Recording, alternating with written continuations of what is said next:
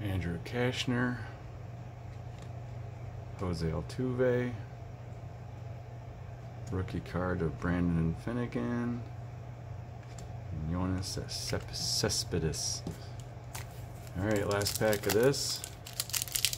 I like opening these because they're super shiny and they all look super expensive. Even they're they're not, but they individually they are each worth a dollar or two per card. Trevor Mays rookie.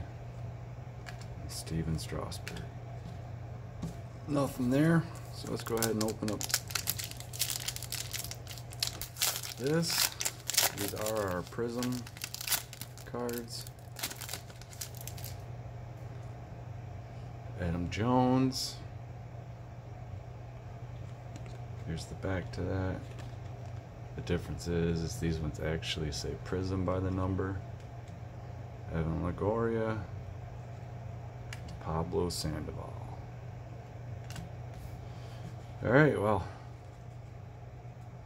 I'll take that. Not a bad opening. Really cool autograph.